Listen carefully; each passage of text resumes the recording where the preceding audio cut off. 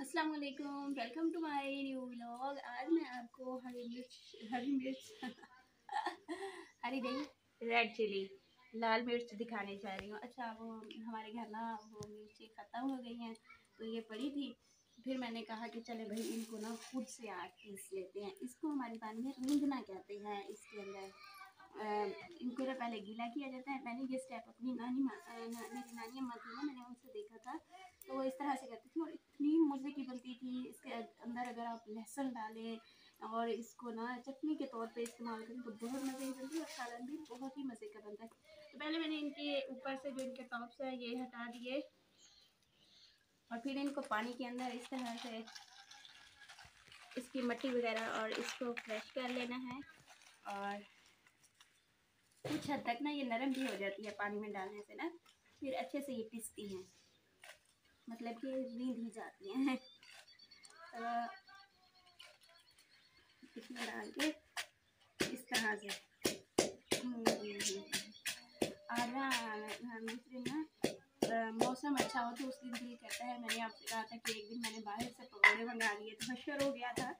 कल बनाए नहीं तो आज जो है ना मैं तैयारी कर रही हूँ। अभी चार बजे, चार नहीं बजे, हमारे यहाँ ना लाइट नहीं है। लाइट सुबह बारह बजे से, सुबह नहीं मतलब बारह बजे से जाती है और तीन बजे के बाद बाद आती है।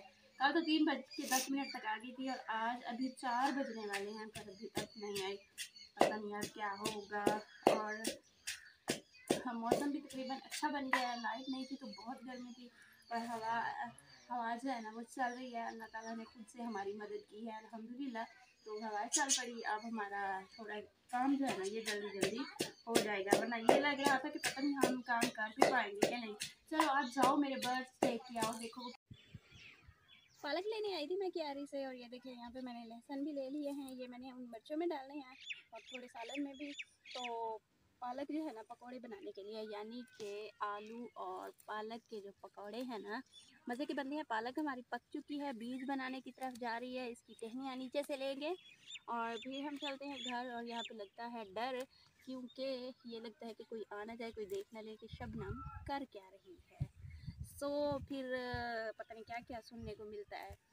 खैर, वो तो सबके साथ है ना मेरे साथ थोड़ी है, सबके रिश्तेदार ऐसे होते हैं, इसलिए मैं तसली में हूँ। तो मैंने वैसे लहसुन ले लिए थे, पालक भी काफ़ी है।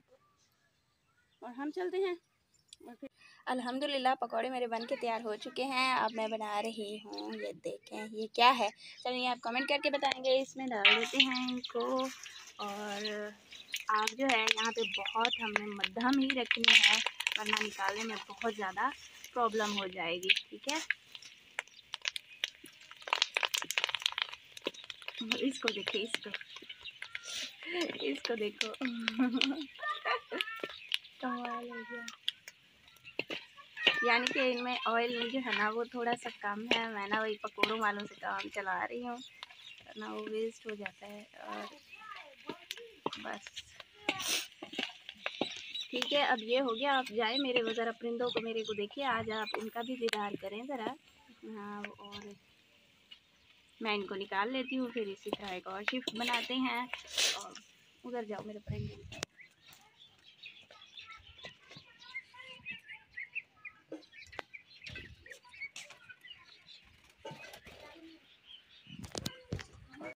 यहाँ पे ये देखे मुझे, मैं काम करके आई और थकी हुई हूँ और आगे इधर लेट गई। है देखे मैं लेटी कैसी हुई हूँ। इस पे हाँ दूसरी साइड पे पवादी वाली साइड पे हमारे यहाँ एक सरहाना होता है, दूसरा पवादी मतलब पता नहीं क्या क्या कहते हैं। मौसम दिखाऊँ, कोई खुदाया मोबाइल बच रही है। मौसम दिखाऊँ आपको तो चले, ये देखिए कितना प्यारा मौसम हो रहा है। माशाल्लाह से देखिए किस तरह से बादल आए हुए हैं और यहाँ पे इस चुड़ैल, इस इस बच्चे को देखे, इस गंदे बच्चे को देखे, इस वाले इस वाले दानू वाले गंदे बच्चे को देखे। ये फिर आ गया और ये खा रहा है इसे। शर्म नहीं आती आपको? रमज़ान चल रहा है, हैं? हुसना आई हुई है, हुसना, ना मेरी हुसना खालाजाद बहन है ये आई हुई है। और यहाँ से ठंडी ठंडी हवाएँ आ रही हैं दफ्तरों से। ऊपर बादल देखिए, मौसम कितना प्यारा बना हुआ है। और ये मेरे सर पे ऐसे खड़े हैं जैसे ना, मैं मर गई हूँ। और ये मेरे ऊपर ऐसे खड़े हैं तो ठीक है। इफ्तार में अभी टाइम रहता है, मैंने पकौड़े बनाए, पापड़ बनाए और फिर खाना तो मेरी तो हालत हो गई ख़राब। अम्मी मतलब बनाती, अम्मी बनाती है, लेकिन आज करीब ही। इधर जो बस्ती है, मैं आपको दिखा चुकी हूँ, उधर ना किसी की डेथ हो गई है। मतलब एक नाना जी की डेथ हुई है तो अम्मी गई हैं वहाँ। और वहाँ से जब आएँगी तो ज़ाहिर है अब काम तो करना पड़ेगा। और शायला शायला क्या करे? अल्लाह माफ़ करे, वो खा लेती है, यही बहुत है। पता नहीं, मेरे लिए मेरे लिए वो इतना वो क्यों करती है सारा? उसको शर्म नहीं आती कि मेरा रोज़ा है, फिर भी ऐसे है? अम्मी आए ना, फिर मैं अम्मी को बताऊँगी। तो हम मिलेंगे फिर एक और मज़ेदार से ब्लॉग में। दो में याद रखिएगा, अपना ढेर सारा ख्याल रखिएगा, खुश रहे, आबाद रहे, जहाँ रहे। अल्लाह ताला इस माए मुकदस के सबके तमाम मुसलमानों के तमाम मसाइल दूर करे दुआ।